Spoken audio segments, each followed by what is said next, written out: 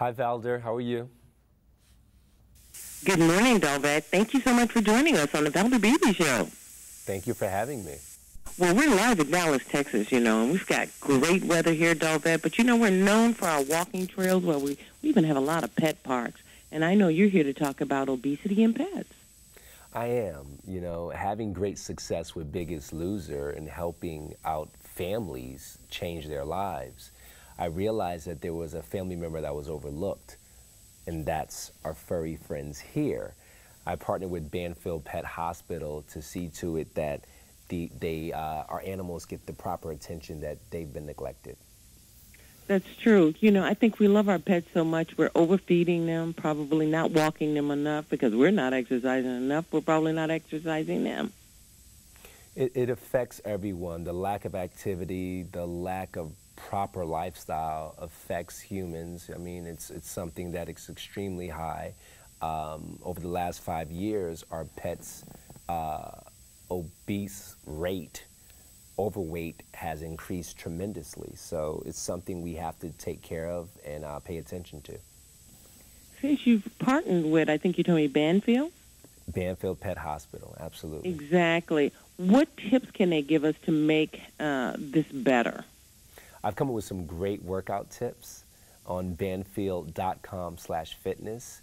Uh, go to that site, see some cool exercises that you can do in the park, things you can do um, on the go with your pet. You're staying active, your pet's staying active, and everybody's winning.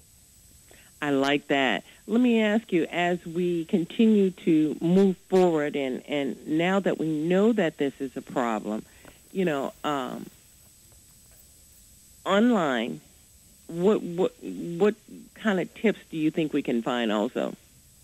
Um, I've come up with workouts that you can do uh, depending on the size of your dog. Um, everything from plyo box jumps to resistant bands, um, walking your dog on a leash, doing shuttle runs, using things like your, your tennis balls, and having your cat fetch behind it and, you know, just keep moving and come up with fun and exciting ways to get you active as well as your pet.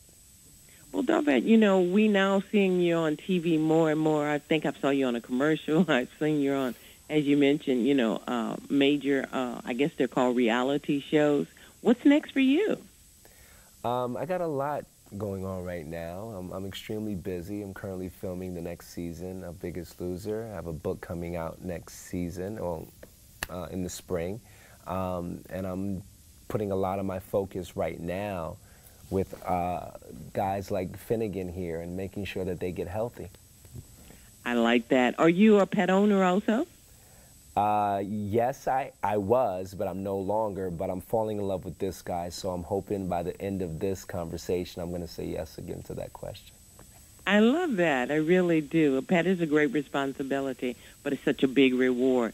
Dolvett, I want to thank you so much for talking to us and reminding us that pets need to be healthy also, too. Give me that website one more time. That website is banfield.com slash fitness. Dolvett Quince, I know we're going to see incredible things from you as you continue to uh, skyrocket in your career. But thank you for giving us something that can really help us in our own lives. I really appreciate it. Thank you, Valder. I'm saying bye, and so is Finnegan. Bye, Finnegan. Bye, Dolvett.